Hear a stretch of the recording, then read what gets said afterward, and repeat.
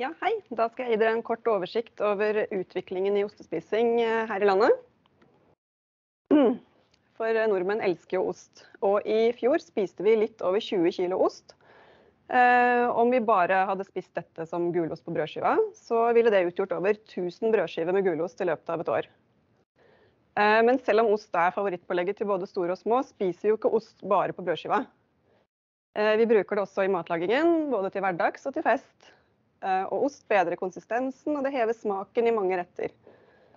I tillegg så er jo ikke ost bare gulost, men det skal jeg komme tilbake til snart. Eh, at meieriprodukter, og særlig ost, er populære matvalg i dette landet, så vi også i den nasjonale folkehelseundersøkelsen til FHI. Som vi ser av denne figuren, eh, oppgir folk at de spiser både meieriprodukter og yoghurt hyppig. Meieriprodukter som ost, melk og yoghurt hyppig. Eh, over 30% sier at de spiser ost minst én gang om dagen. Da skal vi se litt nærmere på hvordan utviklingen i ostespising har vært over tid. For selv om melkeinntaket har avtatt eh, over lang tid, kan vi se av denne grafen at osteinntaket har økt jevnt. De siste 20 årene har vi gått fra å spise 15 kg i året til 20 kg i året. Det vi også ser, er at i samme periode har osteimporten økt stadig. Den har tatt stadig større andeler, fra 5% i 20, 2001 eh, til 18% i fjor.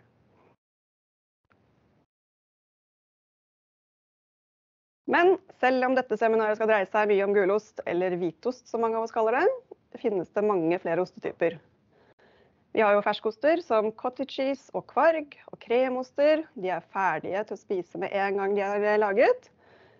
Og så har vi de fasteostene, som er lagrede oster. Det er det vi gjerne kaller for gulost. Eh, I denne kategorien finner vi edammer og gouda, vi finner cheddar og sveitser og parmesan. Og så har vi muggoster, både blå og hvitmugg. Kittmodne oster, de som eh, lukter litt, men som smaker veldig godt. Og så har vi smelteoster og selvsagt en del tradisjonsoster som gammalost og pultost.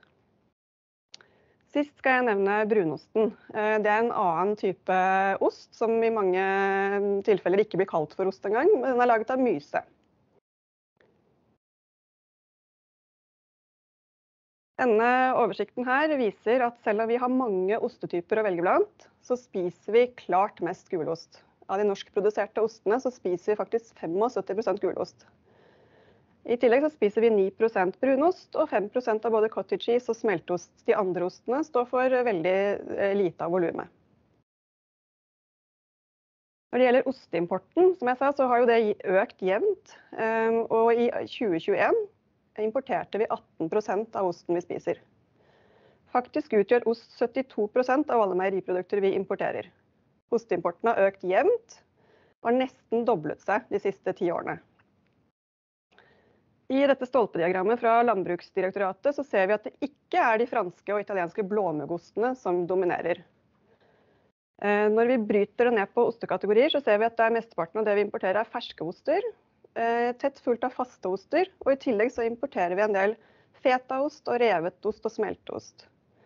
Eh, når det gjelder revet ost og smelteost, så er det den kategorien som øker mest når vi ser på importtallene.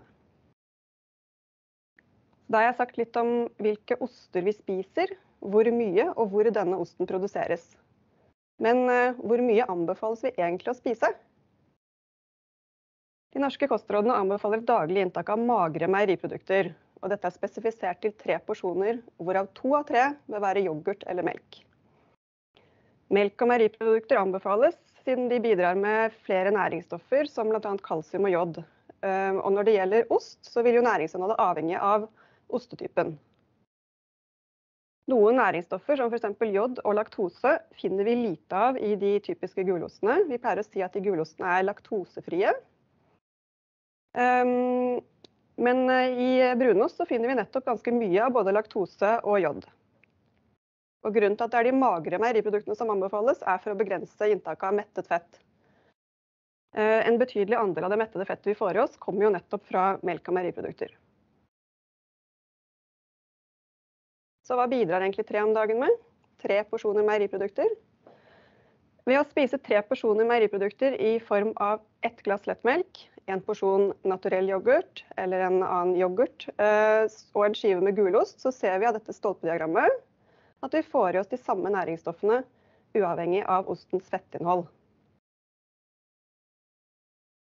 Som vi har sett, eh, er det de magre meieriproduktene som anbefales til hverdags. Siden 1980-tallet har vi jo sett en dreining um, mot lettere varianter, særlig for melk, men også for andre meieriprodukter. Men dette gjelder faktisk ikke for gulosten. Eh, vi velger bare 3% lettost når vi går og handler gulost.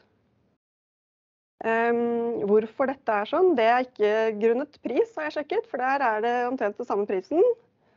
Men det kan jo selvfølgelig handle om vane, om smak og om konsistens. Men så vet vi jo at dette kan endre seg, for i de senere årene så ser vi stadig flere lettoster i butikkene. Eh, også disse som vi kaller litt mer smaksrike. Vellagrede oster, Jarlsbergosten kommer nå i lettost bl.a. Eh, og de har fått bedre konsistens, de smelter bedre, og smaken blir mer og mer lik originalen. Men eh, er det egentlig osten vi skal fokusere på når vi skal redusere inntaket av mettet fett? Det får vi høre mer fra de andre som skal snakke her i dag. Så med det så takker jeg for oppmerksomheten, og så ønsker jeg dere et lærerikt seminar videre.